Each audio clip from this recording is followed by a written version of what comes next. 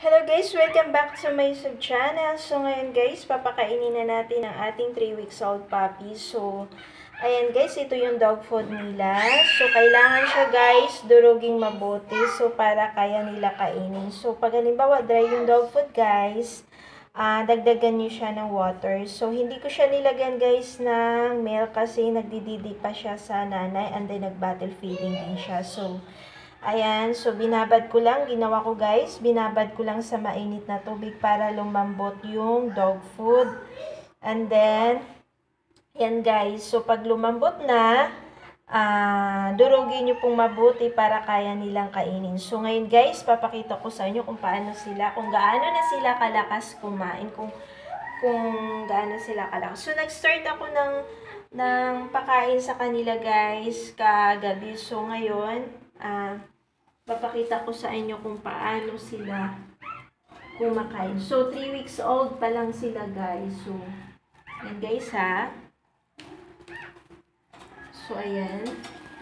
Inuuna ko ngayon, guys, ito. Itong, itong aking uh, male choco liver. So, ayan, guys. So, ang gawin nyo, guys, ipatikim nyo po muna sa kanya para ma-adapt niya yung lasa. Ayun, tingnan nyo, guys, kung paano siya kumain. So, pero i-control niyo yung pagkain niya guys ha. Kasi wag mo, para hindi sila ma-overfeeding. So ang gawin niyo guys, kung pakainin niyo na siya ng dog food, pakainin niyo muna siya ng dog food and then painumin niyo siya ng milk. Kasi para yun ang magiging water niya. So ayan guys ha. So 3 weeks old. So pwede na sila pakainin guys. So pwede guys, pag walang, pa, pwede din guys ano eh, ah, uh, Cerilac banana. So, yan. Pero ako kasi guys, yung ginagawa ko, uh, dog food na talaga yung pinapatikim ko sa kanila para ma-adapt nila yung lasa ng dog food. So, para hindi sila maging maarte. So, ayan. Hindi sila maging matakaw sila. Yan ang technique ko guys para yan.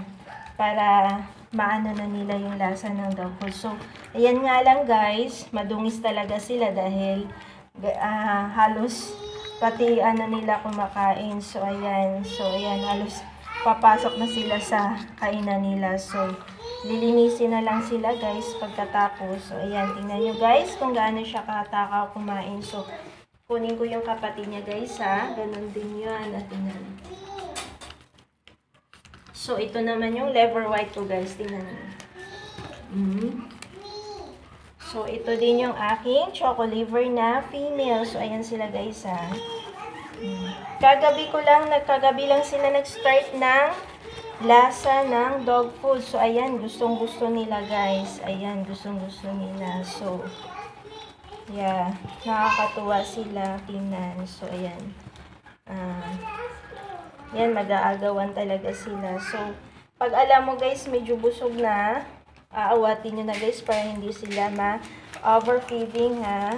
Kunti lang guys yung ibabad nyo na dog food para para hindi ma sobrahan sa busog. So, ginagawa ko kasi after nilang mag-eat ng, ng dog food nila, ginagatas ko pa rin sila. Yung gatas ang sukat ko na gaano kadami, 5 ml yung binibigay ko sa kanila na milk para yun ang magiging water nila. Pero, tinuturuan ko na rin sila guys na uminom sa kanilang painuman para hindi na hindi mahihirapan yung mga bago nilang for, uh, mga bago nilang parents. So ayan guys, uh, ganyan sila. So ayan guys, pinapasilip ko lang sa inyo kung gaano na katakaw ang aking 3 weeks old puppy. So Ayan, pwede na sila pakainin guys ha. Patigim-tikimin ng dog food. Huwag masyadong madami guys. Yung tama lang kasi para hindi sila ma-overfeeding. So, ayan.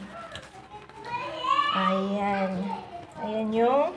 So, ang gawin nyo guys, patikim nyo muna para ma-adapt nila yung lasa ng dog food. So, ayan guys. Ayan, ganyan na sila katakaw.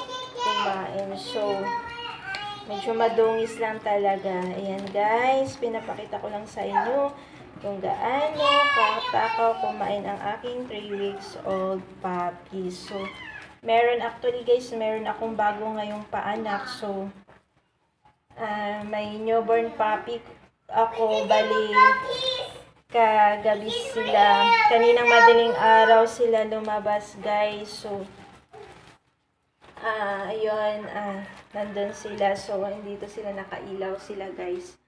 So, ayan. So, yun ang bago kong fair babies ngayon na inaalagaan. So, kagabi sila. So, kailangan pa nila kasi ng ilaw, guys.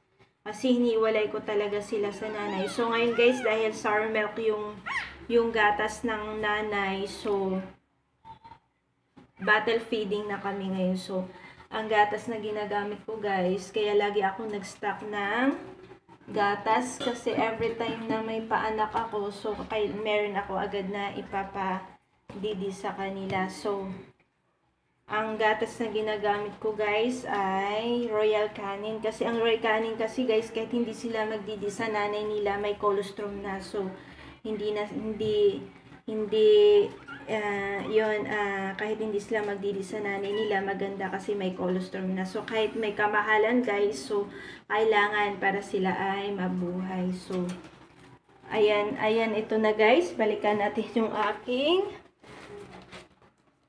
matataka na papi. Yan.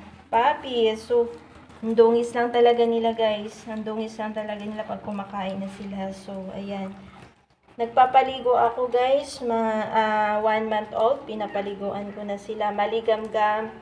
And then, bilisang ligo lang guys. Blower. Agad tapos punasan mabuti. Pagkatapos punasan, i-blower guys para hindi sila ginawin. So, ayan. So, ayan guys. Maraming maraming salamat sa nag-watch sa video ko. Maraming maraming salamat sa na-subscribe sa YT channel ko. Thank you, thank you so much. Ah, doon sa hindi pa po nakapag-subscribe, please subscribe my YT channel for more videos. Thank you so much. God bless.